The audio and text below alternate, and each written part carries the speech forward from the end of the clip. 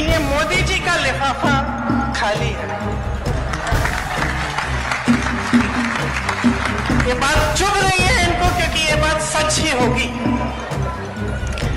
और ये बात इसलिए चुभ रही है क्योंकि जो काम ये करते हैं, उससे यही दिख रहा है बार बार नमस्कार, आदाब, सत श्रीकाल मैं कीर्ति और आप देख रहे हैं द डेली पंचायत। एक बार फिर से प्रियंका गांधी ने राजस्थान के चुनाव में ऐसा दाव खेला है, जिसके बारे में मोदी शाह सोच भी नहीं सके।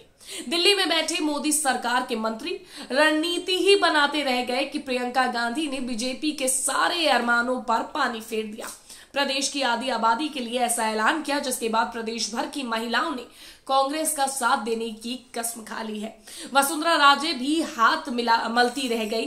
प्रियंका ने एक झटके में सारी बाजी पलट दी है, जिसके बारे में आपको बताते हैं, लेकिन उससे पहले एक छोटी सी अपील है।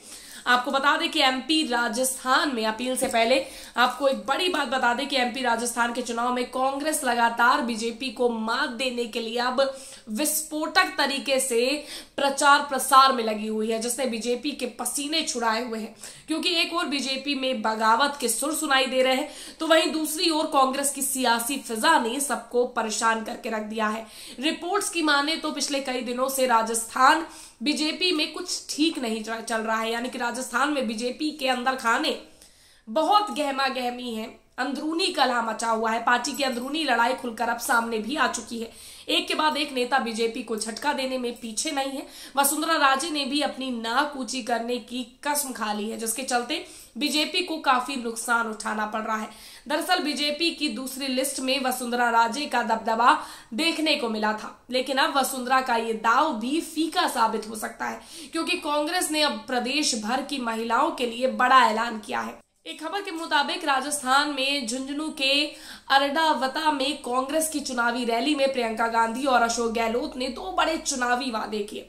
दोबारा सरकार आई तो राजस्थान में हर परिवार की महिला मुखिया को हर साल दस हज़ार रुपए दिए जाएँगे। इसे दो या तीन किस्तों में दिया जाएगा। पाँच सौ रुपए में सिलेंडर, एक करोड़ पाँच लाख परिवारों को दिया जाएगा। अभी पाँच सौ रुपए में सिलेंडर छियासी लाख परिवारों को मिल रहा है। कांग्रेस का ये दाव बीजेपी की मुश्किलों को बढ़ा सकता है। वहीं इस दौरान प्रियंका गांधी मोदी सरकार पर जमकर बरसी। एक खबर के मुताबिक प्रियंका गांधी ने केंद्र की भाजपा सरकार पर हमला बोलते हुए कहा कि इनके पास कोई विजन नहीं है। रोज़गार पैदा नहीं कर रहे पब्लिक सेक्टर कंपनी से रोज़गार बनते थे, उन्हें सरकार ने अपने बड़े उद्योगपति दोस्तों को बेच दिया है। यदि सभी उद्योगपतियों को देते तो दिक्कत नहीं होती, इससे रोज़गार बढ़ते, लेकिन इस सरकार ने चुनिंदा लोगों को दिए। खेती किसानी भी अपने मित्रों को सौंपने वाले थे। हालाँकि इस दौरान प्रियंका गांधी ने मोदी जी के लिए लिफाफे पर तंज कसा है। क्या कुछ कहा है, आप भी सुनिए। मैं कुछ दिनों पहले सिकराई गई थी, वहाँ पे मैंने एक बात की, इतना भड़क गए भाजपा वाले कि मुझ पे केस भी डाल दिया उन्होंने। और मैंने बात सुनिए क्या कही थी। मैंने ये कहा था कि मैंने टीवी पे देखा, पता नहीं सच है कि नहीं, क्योंकि टीवी पे ऐसी बातें भी होती हैं जो सच नहीं है आजकल। लेकिन मैंने टीवी पे देखा कि श्री देव नारायण जी के मंदिर में मोदी जी गए, और उन्होंने कुछ बक्सा होता है ना, मंदिर का उसमें लिफाफा डाल दिया। हाँ फिर उस लिफाफे को छह महीने के लिए किसी ने खोला नहीं कि मोदी जी ने डाला है।